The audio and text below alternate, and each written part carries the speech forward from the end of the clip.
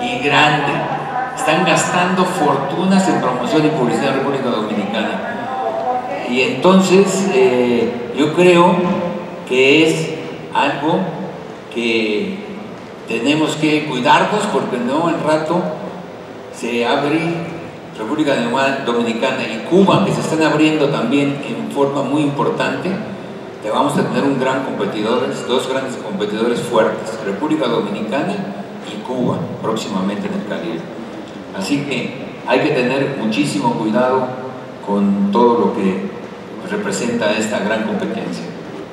Después tenemos eh, que no, quiere o qué. Ah, dice, la importancia de la economía de América Latina, el turismo es el que más puestos de trabajo, obviamente todos lo saben, crea un millón de dólares invertidos, es el que más puestos de trabajo mantiene por millón de dólares facturados. Latinoamérica sigue siendo uno de los principales destinos preferidos por los turistas europeos. Los países de Latinoamérica tienen que estar atentos en los cambios de flujo turístico que se dan. Yo creo que, yo acabo de estar ahora, por ejemplo, en Italia, en la ITV, y los europeos dicen, bueno, si nos gustan las playas, pero nos interesa más la cultura. Por ejemplo, los italianos buscan más la parte cultural que la parte de sol y playa. Y creo yo que aquí es donde podemos nosotros aprovechar grandemente esta oportunidad que se nos presenta de, de que tenemos mucha cultura, muchas bellezas naturales y por ejemplo aquí Chihuahua puede ser un lugar que puede interesarle a estos mercados que son muy importantes. Pero además, mercados de América Latina que están creciendo muchísimo, hay muchísimos latinoamericanos queriendo conocer México. Eh, fíjense que está, eh, el Banco Internacional de Desarrollo propone crear un mercado regional plenamente integrado y una zona libre de comercio para América Latina denominado LACTA. Está mal, no tiene la C, aquí está LACTA, la C está equivocada, es Latino American Free Trade Association, ok, sin la C. Entonces dice LACTA, es Latino American Free Trade Association, esto llevaría a la, la región a posicionarse como la quinta potencia mundial. O sea que tenemos mucho que hacer en América Latina.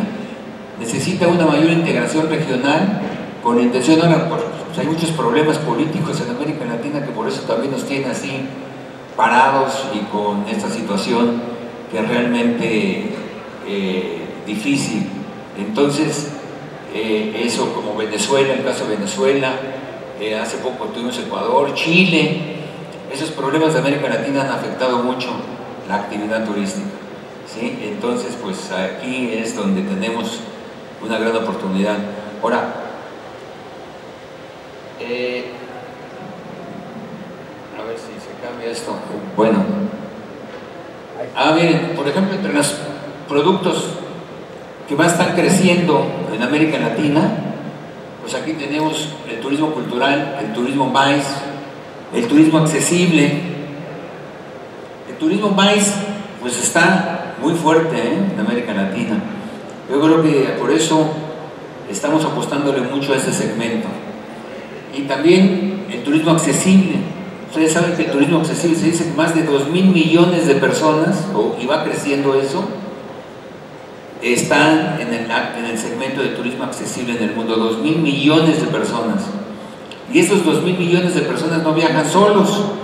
Así que es un mercado y un potencial que podemos aprovechar y que podemos realmente eh, lograr.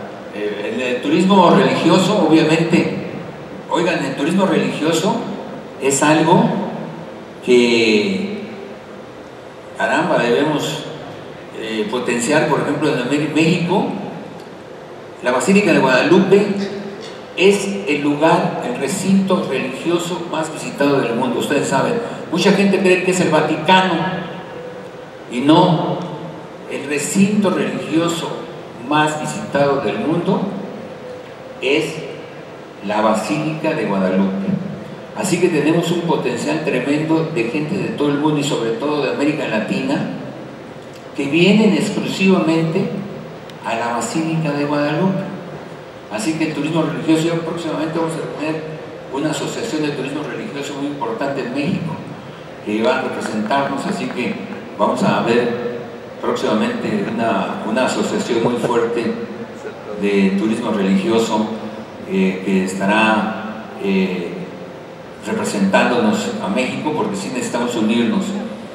Por cierto, hace algún tiempo que me recibió el Papa, no sé si sepan que me recibió el Papa, pero yo creo que no, pero algunos sí. Pero el Papa me dice una persona, ¿estás loco? ¿Qué te va a recibir el Papa? Dije, a ver, voy a intentar que me reciba el Papa. ¿Y tú quién eres para que te reciba el Papa? Pues soy Armando Bojón. Ah, bueno. Entonces ahí mandamos un escrito al Papa diciéndole que era yo un gran promotor del turismo religioso a través de América Latina y a través de la Asociación de Cultura y Turismo Actual, de la cual presido. Y resulta que me van a mandar una carta diciendo que me recibía en tal fecha, en noviembre. Eh, ya fuimos al Papa, me recibió, le dio su botella de tequila. y no me dejaban entrar al Vaticano con la botella de tequila y bueno, finalmente le dije, bueno, pues si yo es que yo no la traje la botella de tequila, me la pidió el Papa. Qué bueno. Entonces me dice, no, déjeme consultar, déjenos consultar, déjenos consultar. Y que consulta dice, bueno, pues que pase la botella de tequila. y ahí llegué con el Papa, di su botella de tequila.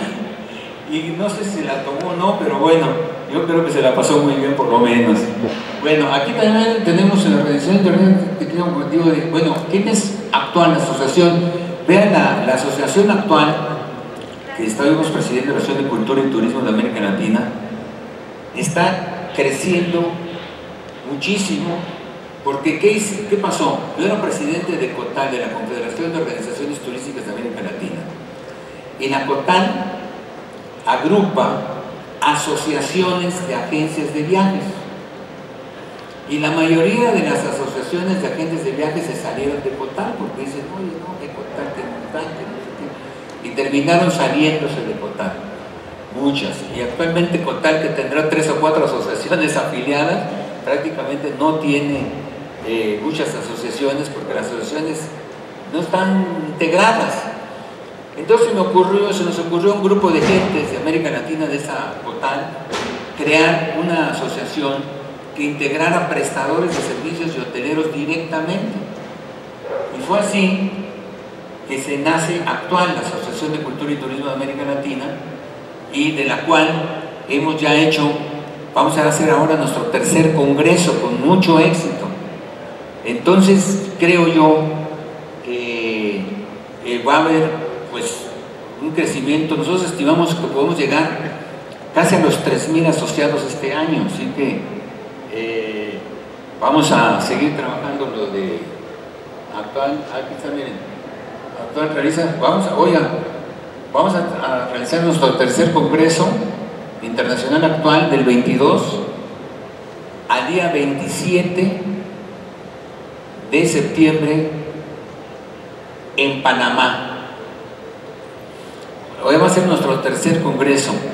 Yo creo que, eh, digo, tendremos eh, una gran actividad. El año pasado fueron 500 agentes de viajes, no sé, algunos de los que estuvieron aquí, que fueron al congreso de actual, ¿verdad?